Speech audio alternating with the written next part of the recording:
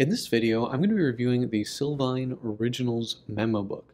I'll go over the specs, I'll do a paper test, and I'll tell you what I like and don't like about this notebook coming up. Blake here with Blake's Broadcast. On this channel, I review fountain pens, paper, and ink, and as always, I put links in the show notes in the description below. And if you haven't already, please hit that subscribe button, it really helps out my channel. Alright, let's get on with the review. So this is the Silvine Originals Memo Book. This is a notebook that I've actually started carrying on the papermind.com. Blake's Broadcast viewers and subscribers get 10% off with code BB10 at checkout. Now, I don't put other notebooks or other paper products on my website willy-nilly. It has to be something that I really like and that I think is really good quality. Now, I've been using these for quite a while. And really, for me, these are just sort of the upgraded, the premium field notes. Now, these are older than field notes. To go into the history of this, supposedly, and I don't know if this is true, they've been making these since the 1920s and in the same exact same factory in Yorkshire, England.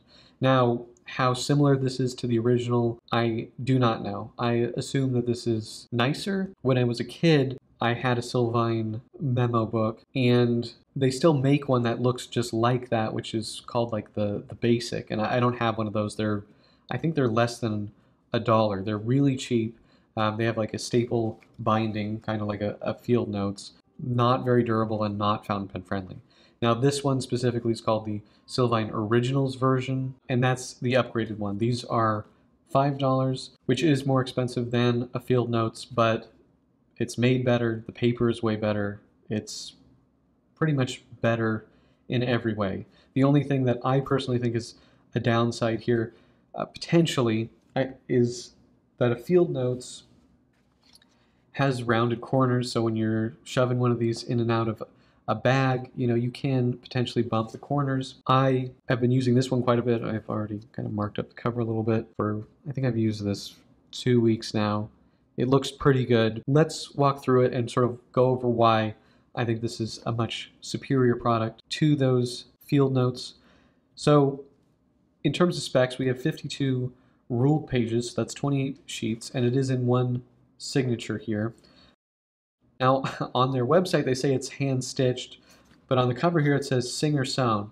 So my guess is that just means that someone's hands are going like this through you know the machine versus someone actually hand stitching it. I could be wrong about that, but the fact that it says Singer sewn makes me think it's done on a machine with someone's hands guiding it.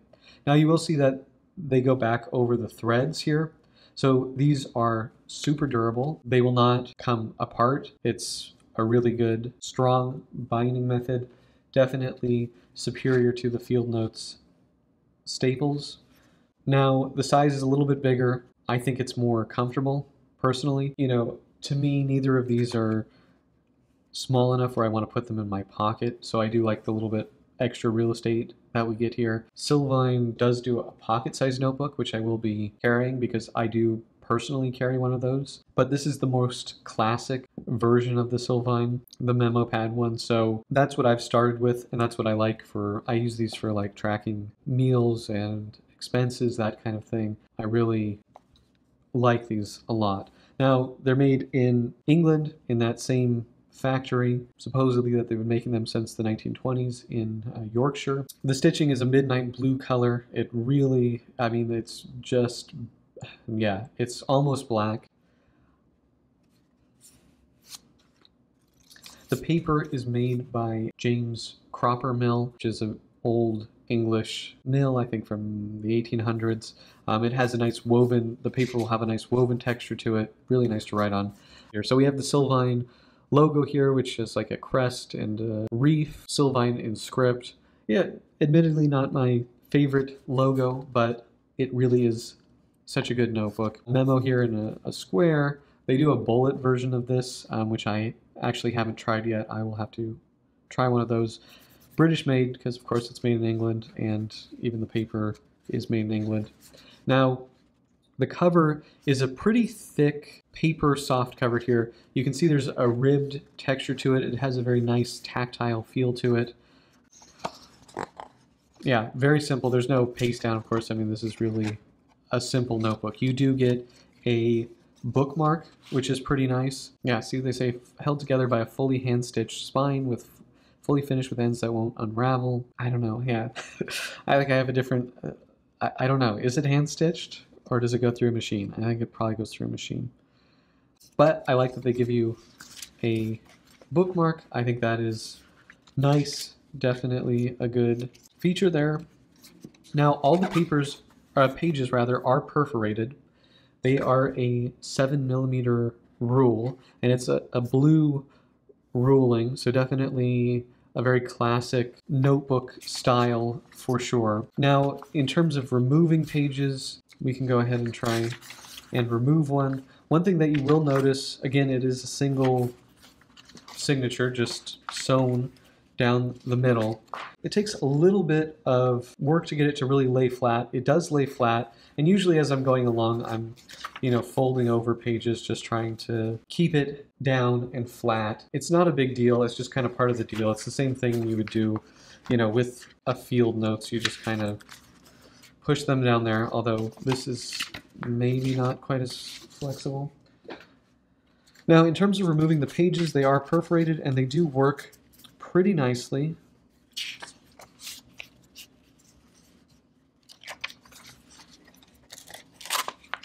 Yeah, nice, clean tear. Really good. And we can kind of see a little bit of that woven texture there.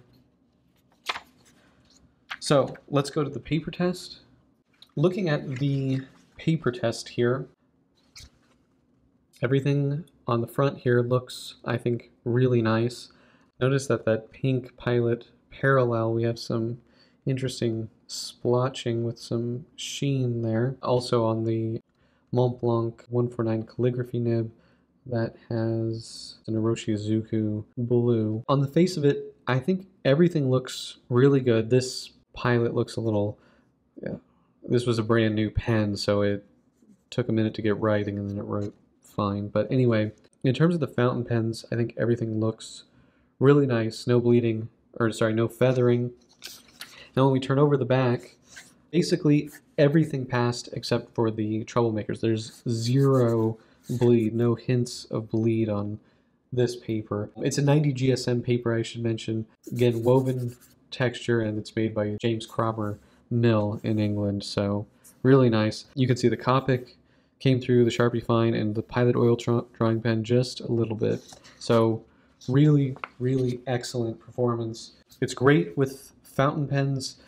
These upgraded originals versions are really strong. I mean, I've been using them on and off for quite a while now, and I've certainly never had one fall apart on me.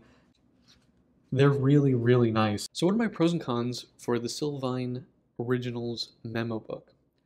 The biggest pro for me is the paper. It's a really nice paper with a woven texture and it's awesome with fountain pens. I don't have any issues with bleeding or feathering. It's really excellent. I like the 7mm rule. I like the stitched binding. It's quite durable, as is this kind of ribbed heavy paper cover. It's really quite excellent. I like that all the pages are perforated so they're easy to take out. I like that it comes with a bookmark. And I like that it's not too expensive. At about $5, it's really not bad. And I know, you know, compared to a, a field notes, it's a little bit more expensive, but most field notes that I've used do not work with fountain pens. They bleed and they feather. So a little bit more for this, I think it's totally worth it. Now, in terms of cons, it has a bright blue ruling, very old school looking. I typically like a lighter ruling, but again, for $5, I can't really complain. And again, this is a very classic notebook, so it's a really minor gripe, I would say. So that is pretty much it. Do you guys have this notebook? Do you like this notebook? Let me know in the comment section below. If you like this video, please hit that like button. And if you want to see more fountain pen, paper, and ink videos, please hit that subscribe button. Thank you guys so much, and until next time.